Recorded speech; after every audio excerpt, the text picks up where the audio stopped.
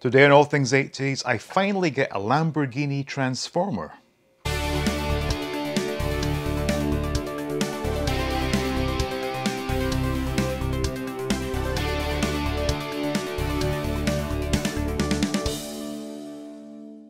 Welcome back to All Things 80s. Now nothing screams the 80s quite like Transformers and Lamborghinis, so what's better than having the two of those combined into one package? So here we have a reissue of Red Alert. And I'm really excited to get hold of this because the Lamborghini is one of my favorite cars of that decade. And to get a Transformer that goes from Lamborghini to robot is just the ultimate 80s toy. So without further ado, let's get this thing opened up, take a good look at it and see what I think of it. So this example of Red Alert is obviously from the commemorative series. We've gone over these before, so I don't need to talk too much about the packaging except to say that these, along with the Walmart reissues, have been an absolute godsend for me in my quest to collect G1 Transformers, whereby I'm able to get a nice brand new minty fresh Transformer without breaking the bank. And the packaging itself does look great with that window display and the book style cover. But anyway, we're not here to talk about cardboard, we're here to talk about the Transformer toy contained within. So let's get this opened up and get it transforming.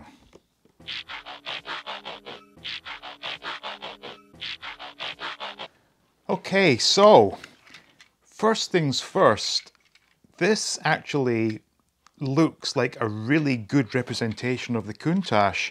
It's got good weight to it, and actually in car mode, it's absolutely solid.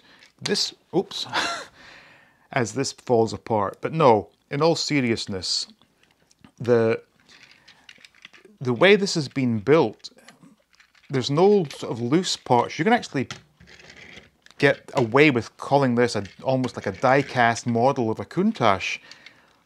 Fantastic. This is the most solid transformer, or Autobot certainly, that I've had so far in that in car mode. There's nothing flapping around. Solid. Brilliant. But anyway, I better look at the instructions because we all know how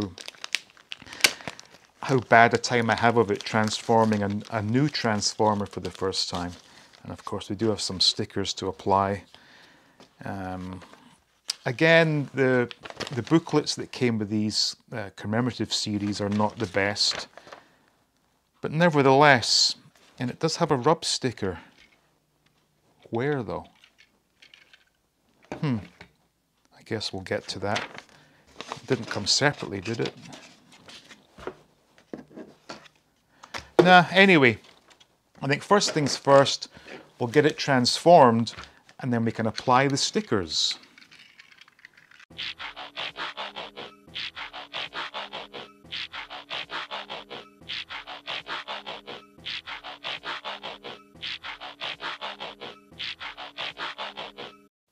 Okay, so now we have it fully transformed.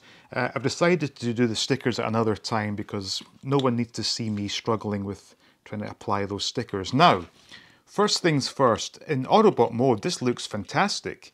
I will say though that I can imagine back in the day, a lot of these would have been broken by kids trying to force parts. Um, I like this in the fact that this is the one Autobot I have that I think doesn't require you to turn the torso. So it was a pretty straightforward transformation. Now that I've done it once, I'll be able to do it repeatedly without any problems. Um, nice solid feet that come out here, allowing it to stand perfectly. Um, I'm not sure about the colour of the laser rifle here. I'll need to take a look at an original G1 to see if it should be a different colour because I've never seen a red rifle before. But all in all, extremely happy with this one and just looks really, really good. Now let's see if I can transform it back again because I do very much like having a classic Lamborghini in my collection. Um, trying to remember what I did here. I think that went back that way. Uh, these feet go up like this. This gets pushed in and then something wrong with the Ah, there we go.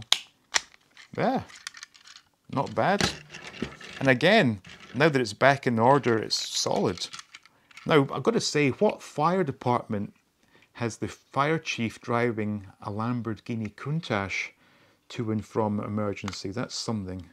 Um, I will point out, though, that this tailpiece of, of the part of the spoiler comes off pretty easily. And if I remember rightly, um, when uh, Tez from Roland's Reviews was doing a tour of his room, he mentioned that he had bought a Chinese knockoff for one of his G1 transformers because he was missing one of the tailpieces.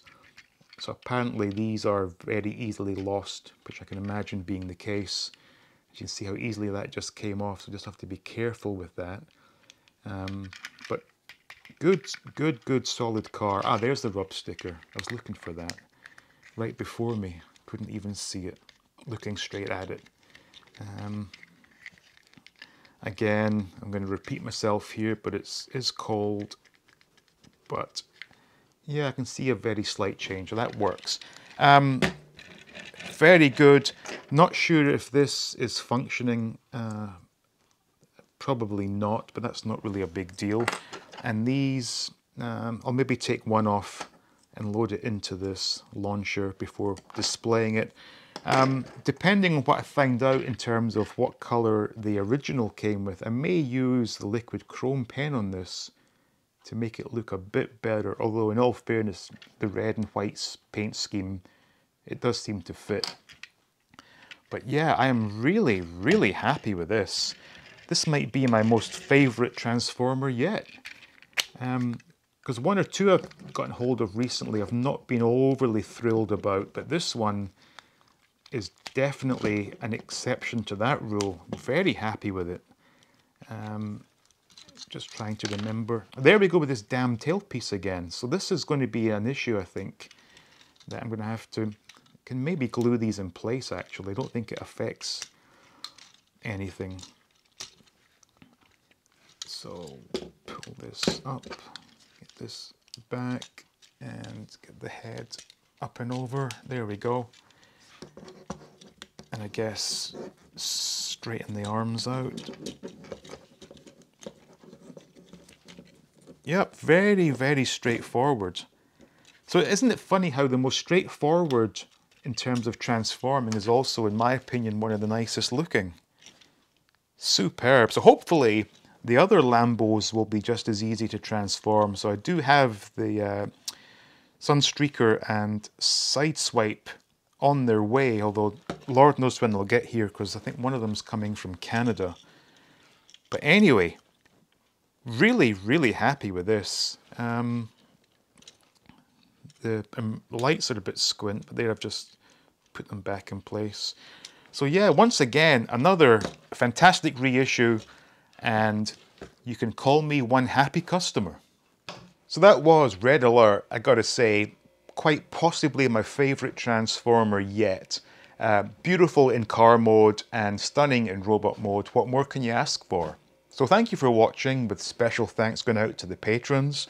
Please like, please subscribe, and as always, stay tuned for more videos from All Things 80s.